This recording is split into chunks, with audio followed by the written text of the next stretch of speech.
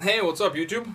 Mike from Mass here, Mass Aquariums, and uh, I've been getting a lot of comments lately on how do I get rid of my nitrates or my nitrites still reading this, and my tank has been up for two months and I still have brown algae, and so on and so forth. So, I wasn't going to do a video, but I figured let's do a mass aquariums version of the nitrogen cycle and how you can cycle cycle a new tank or if you have multiple tanks already, uh, how to quickly cycle a tank. Because a lot of, well, all you experts out there that watch my channel, you guys already know how to cycle the tank and what the whole nitrogen cycle is, but some beginners have a lot of questions and I'm going to try to break it down. I'm going to try not to ramble, uh, but you know that's going to happen anyway. So, the nitrogen cycle, right? You have a new tank, all you have in it is water and maybe some fake plants, maybe some rock, your filter's going, maybe you have some live plants in there. But you don't have the beneficial bacteria in your tank to take care of fish waste. Now, what does that what does that even mean? Your fish, they swim around your tank, they pee and poo. Now, if you don't have the bacteria to break that down, your fish are basically swimming in a toilet. Really. You know, take a giant dump in a giant toilet and take a swim in it. Take a big swimming pool, have, you know, 2,500 people take a shit in it, and then you go take a swim in that, and uh, you know, tell me how that what that feels like. So, I know I'm exaggerating, but your fish produce ammonia, and then nitrite will break down the ammonia. Nitrate will break down the nitrites, and nitrate is what you want in your tank to a certain extent. And when you reach a certain threshold, it's usually in ppm, which is parts per million, is when you want to do a water change. So, there's many ways to cycle tanks. Um, if you start off with zero fish and you just let the tank go by itself, you know, certain dust will ac- accumulate in your tank. Uh, there will be organisms that just are just basic in life that will end up in your tank and will produce ammonia and nitrite will break down that ammonia and nitrate will break down the nitrites and your tank will be cycled. However, that takes a very, very long time. There's plenty of ways to cycle a tank.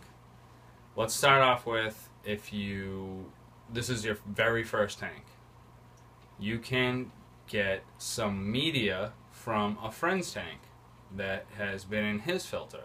He has his tank cycled for however long. You can take some of his media, put it in your tank, and that can cycle your tank pretty quickly.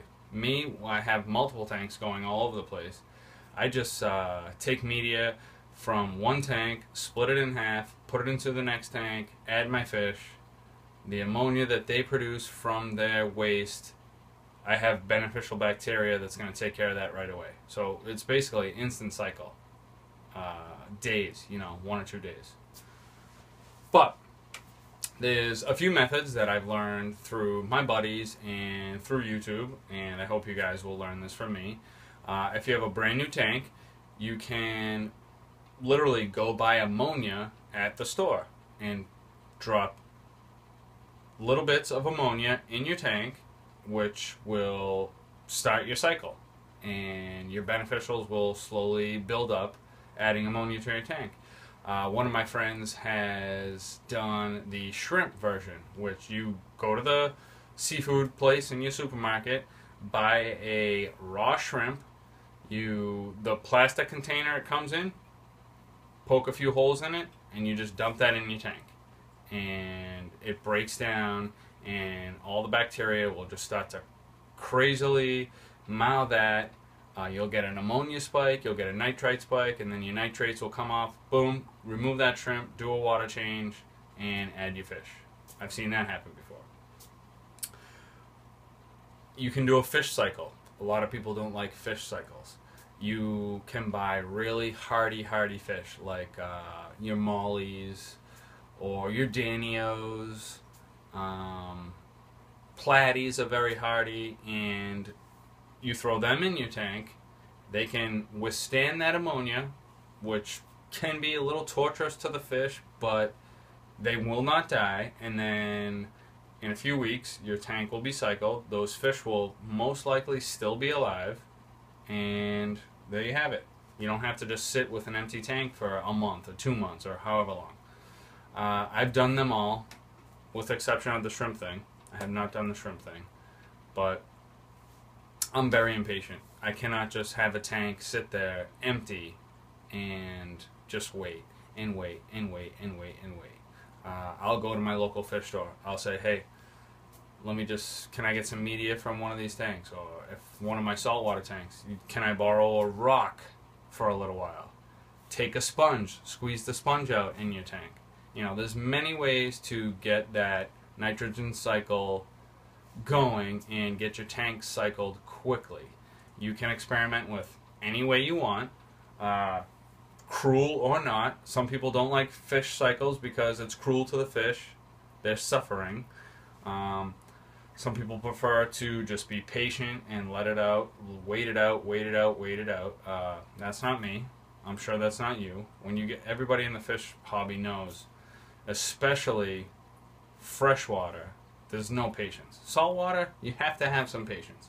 Freshwater, you can really set up a tank in a day or two and get some fish in there and probably be perfectly fine with some hardy fish. Especially if you have tanks all over your house, you can get that tank cycled in two days and have it up and running. So, that's enough rambling. I hope I answered all those comments I've been receiving over nitrogen cycle and cycling a tank. If you have any questions, leave them down below. Comments, leave them down below. And as usual, this is Mike from Mass.